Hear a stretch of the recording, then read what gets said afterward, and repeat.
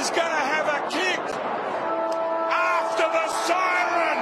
Look at the Swans. They're getting everyone back. Sinclair's pushing back. McVeigh saying, get down here. We can touch this on the line. Every kid dreams of this opportunity. Lloyd from 45 to win the game. He's got it. The Tigers have won by a point. A kick after the siren. They've gone bananas at the Giants.